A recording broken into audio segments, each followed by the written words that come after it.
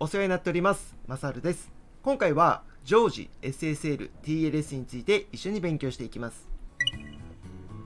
今回学ぶ内容です。まず TLS を使うということがどういうことなのか概要をお話しします。その後に常時 SSL TLS 化についてお話しして最後に TLS アクセラレーターについてお話ししたいと思います。それでは始めていきましょう。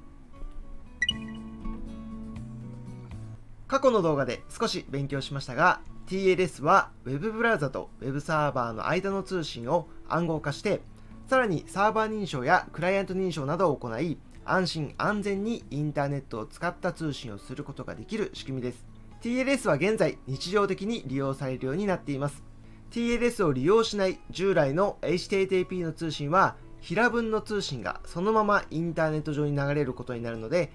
ID やパスワードなど機密性の高い情報が盗聴されてしまう危険性があります。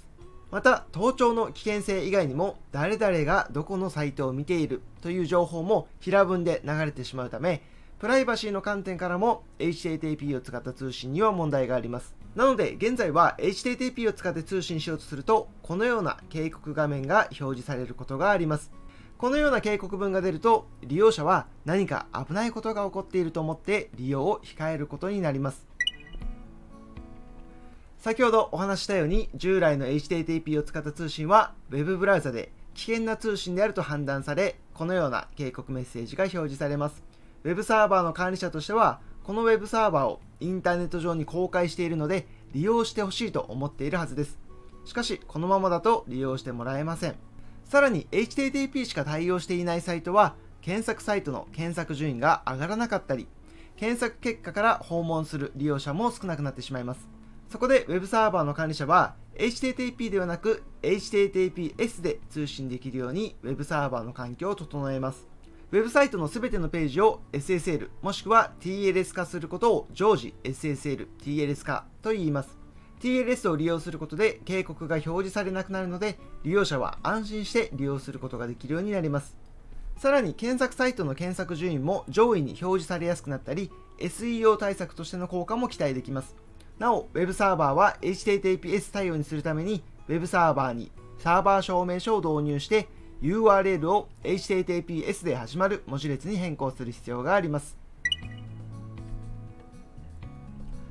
Web サーバーで HTTPS が利用できる環境を整えると安心安全に通信をすることができるのですが TLS を利用するためにはクライアントとサーバー間で様々な制御情報のやり取りを行う必要があります。その結果、多数のクライアントと通信するサーバーは負荷が高くなってしまいます。こうなると Web サーバーからの応答が遅くなったりしてユーザーの利便性が下がってしまいます。そういった場合に利用するのが TLS アクセラレーターです。TLS アクセラレーターを利用して暗号化、複合処理をさせることによって Web サーバーの負荷を軽減することができ、スムーズな通信を実現することができるようになります。それでは今回は常時 SSL、TLS をテーマに一緒に勉強しました。最後に少しだけお知らせです。皆さんの応援のおかげで本動画シリーズが書籍になります。発売日は2023年9月26日。全国書店にて発売します。通信販売、電子書籍での発売もあります。詳しくは概要欄をご覧ください。それではおまけトークです。今回は常時 SSL、TLS について勉強しました。SSL や TLS について詳しく知りたい方は IPA が公開している TLS 暗号設定ガイドラインをご覧ください。ちなみにこの資料にも載っていますが、現在 SSL というのは脆弱なプロトコルであり、利用が推奨されていません。